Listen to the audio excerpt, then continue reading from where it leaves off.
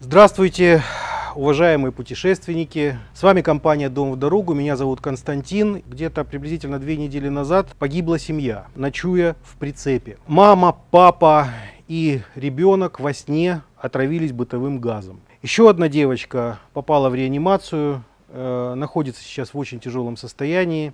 Она выжила. Я вынужден еще раз рассказать вам о том, какие ошибки делают те, кто решает купить бушный дом на колесах с рук у незнакомых, непонятных личностей в каких-то странных компаниях, чтобы сэкономить деньги.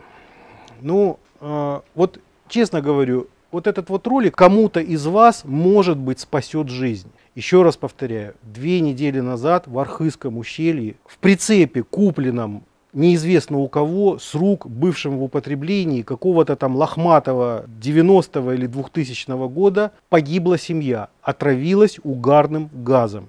Повторяю это второй раз, чтобы вы поняли. Три человека просто умерли, задохнулись во сне. Еще одна девочка в реанимации. Посмотрите мои предыдущие ролики, я говорил о том же, что, ребята, купив бушный прицеп, вы рискуете погибнуть во сне. То же самое, вот то, что я говорил, произошло две недели назад. Люди, которые хотят купить эту технику, они никак не могут избавиться от автомобильного мышления. Потому что что такое автомобильное мышление? Бушный автомобиль покупать можно. Ничего страшного в этом нет. Дом на колесах люди ассоциируют также с бушным автомобилем. Но давайте сравним, что такое автомобиль, а что такое прицеп. Или что такое дом на колесах, вот автодом, к примеру. Да?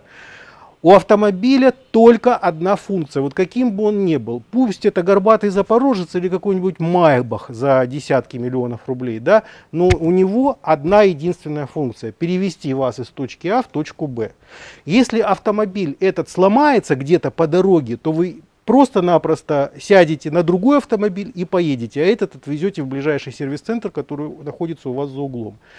Ну, в конце концов, вы помните хоть один случай, чтобы водитель погиб в результате технической неисправности автомобиля. Это очень-очень и очень редко. В основном попадают в дорожно-транспортные происшествия и получают травму и увечья от столкновения одного транспортного средства с другим. У любого автодома, у прицепа все совсем по-другому. Если у автомобиля одна единственная функция, перенос человека из точки А в точку Б, то у прицепа не только переезд с одного места отдыха на другое место отдыха, но и обеспечение комфортных, безопасных условий в момент, когда вы отдыхаете с этим прицепом. Ночью спокойный, здоровый сон в чистом воздухе и в тепле. На протяжении всего отдыха поступление горячей воды бесперебойно. Отопление, канализация, водоснабжение. Вы представляете, сколько функций у прицепа или у любого автодома, и все они должны исправно работать. И в случае, если у вас неисправна газовая система, то вы рискуете отравиться.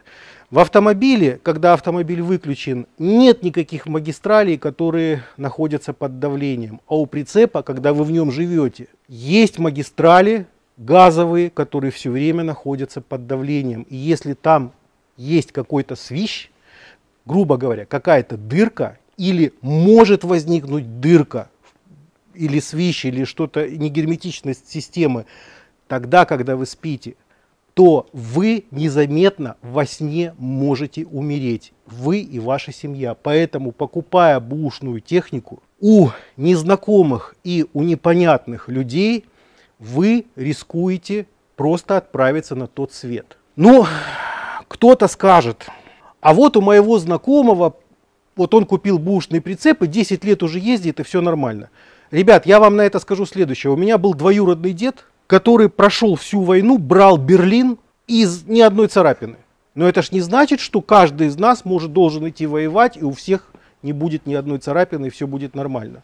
Вот так же и мой, ваш знакомый, кто-то там купил бушный прицеп, и что? Это не говорит о том, что вы тоже должны неизвестно где покупать бушный хлам. Но в конце концов, вот чтобы вам понятнее было, будете ли вы покупать квартиру в доме, которому 100 лет, у которого течет крыша, у которого просел фундамент, у которого трещины в стенах, у которого э, неизвестно, когда ремонтировалась эта газовая система, у которого сырость, грибки, вонь стоит, но зато квартира стоит в два раза дешевле. Будете вы такой, в таком доме жить? Я думаю, что вы даже не будете покупать квартиру, даже если вам за нее приплатят. Но почему же вы тогда покупаете бушные автодома, тем самым создавая серьезнейший риск жизни вашей семьи и вас? А еще страшнее, вот сейчас последние два года пошла такая тенденция, вот есть такие нечистые и нечестные на руку дельцы, которые продают якобы новые дома на колесах, которые на самом деле БУ.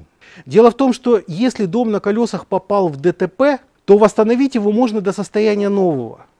Но газовые магистрали вы в нем не замените, потому что они проходят фактически ну, через огромное количество плоскостей, помещений под полом, ну, везде, да, и заменить их очень сложно. И зачастую они вроде бы нормальные после ДТП.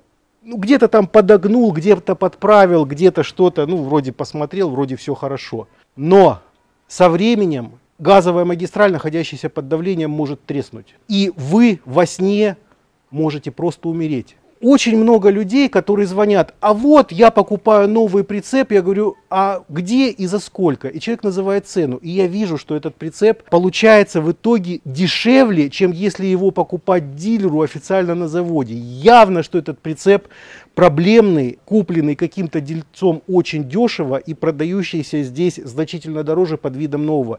Это значит, что этот прицеп был в дорожно-транспортном происшествии в Европе, его восстановили и продают под видом нового. Как не попасть в эту ситуацию? Ребята, очень просто. Значит, э, прежде всего, надо покупать дома на колесах в компании, которая является дилером какого-то бренда. Если эта компания дилер немецкого производителя автодомов, какого-то, любого, значит этой компании немецкий производитель доверяет, потому что дилером – стать очень сложно. То есть нужно не один год работать на рынке без замечаний. Нужно не один раз посетить предприятия, которые производят дома на колесах. Нужно иметь в конце концов какие-то личные отношения э, с людьми, которые управляют всеми этими процессами в Германии. Тогда компания становится дилером. Насколько я знаю, с Российской Федерацией только две компании, которые являются официальными дилером какого-либо бренда, производящего автодома или прицепы дачи в Германии и в Европе, которые представляют этого производителя на территории России. Одна из них наша компания, вы можете зайти на официальный сайт humor.com в этом убедиться. И еще одна компания, не буду говорить ее имя, это наши коллеги, но в частности я веду речь о своей фирме. Только две, ребята, две. А все остальные это барыги, перекупщики, неизвестно кто и так далее. Я не говорю, что все они такие плохие, нечестные и непорядочные, но я, по крайней мере, знаю двух, которые каждый день обманывают покупателей, продавая бэушную технику под видом новой. Прежде чем покупать БУ технику, убедитесь в надежности продавца. Не покупайте технику неизвестно у кого. Не покупайте технику, не зная историю этой техники. Я не говорю, что БУ нельзя покупать, но если вы покупаете БУ, поинтересуйтесь, когда он был завезен, кем он был завезен, кто эта компания, которая продает, можно ли ей доверять, является она чьим-то дилером или не является. Алло. Да, да. А когда вы его купили? Прицеп? Купил недавно. Это попал на вторичном рынке. То есть вы купили бэушный прицеп под названием, как называется он? Ховер вроде. Может, хобби? Хобби, хобби, да, да, да, да, хобби. А какого года он? Ну, 2006-го. И что за проблема сейчас у него? А, в нем а, я только купил, как бы еще немножко не разобрался, там, да, как что-то смывается, там, ну, есть так хоббит, да, как называется, хоббит, да? Ну, люди признали его. А, вот по электробатареям, вот по этим вот. Там все работает у него? Ничего нету, то есть вот это вот президент называется он. Большой, 6,5 метров, 7 метров почти. Да. Может, может премиум? Я, честно говоря, вот честно говоря, я даже не, не проверял еще. Вот. Единственное, что у него бачок, почему не проверял, бачок, он хозяин, как его покупал, он купил его в 2013 году, сам пригнал. Вот, и как бы не использовал, я у него забрал. Какой бачок? Бачок, бачок вот нагреватель, который там есть на 10 литров, он разморозил его. А, бойлер, да? Да, да. То есть разморозил бойлер, заморозил точнее бойлер, да? Да, да, да, да. То есть горячей воды нет, да? Да, да, да. Да-да-да. Что у вас за прицеп? А, прицеп у меня Бейли. А, Бейли, Бейли, Бейли, Бейли, Бейли. Сейчас я скажу, как он называется. Бейли Валенсия, 2004 год, 2014 год.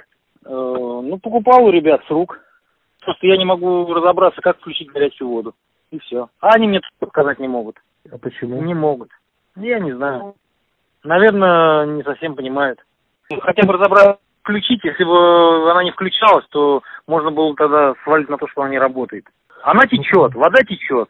Да. Ну вот, да, Альда двухконтурная, как вот мне подсказали ребята.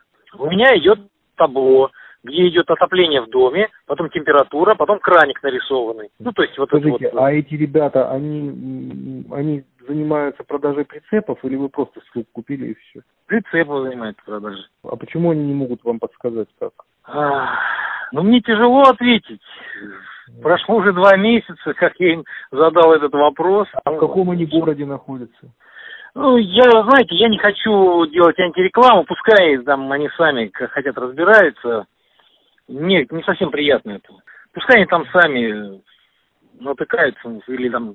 Вот, вы когда при покупке проверяли, нет вообще? Нет, э, воду не проверял. Я не считаю это нужным на, на данный момент. Я не считал это нужным, я торопился. В общем, э, мне достаточно было того, что есть отопление. То есть отопление работало. А я им э, пользовался зимой, этим, э, ну, отоплением. Мне все устраивает. И при, покупал я у них зимой. А так зимой вы, не, вы что, не включали горячую воду ни разу? А ее же не было в системе. Я ее не заливал. Ну, То есть у вас вообще воды не было, да? То есть В системе воды не было зимой. не то, что в системе, в баке была вода? В руки вы... Нет, не было. То есть вообще Не мыл я руки, я руки не мыл зимой здесь. Она вообще К сожалению, таких звонков у нас по несколько штук в день. Не покупайте БУ прицепы на территории Российской Федерации с рук у сомнительных фирм, которые занимаются только БУ прицепами. Если уж вы собрались покупать БУ прицеп, это нужно делать у дилера в Германии. Только там есть какая-то гарантия того, что вы купите себе исправный БУ прицеп. Но все, что продается в России, это, как правило, восстановленное из убитого хлама. А В большинстве случаев попавшим когда-то в ДТП и э, восстановленным до какого-то там состояния, при котором можно его спихнуть какому-нибудь лоху. Поэтому не тратьте деньги и помните, что скупой платит дважды. Я очень хочу, чтобы мое видео сохранило кому-то жизнь. С вами была компания «Дом в дорогу». Меня зовут Константин. Хороших покупок и хороших путешествий.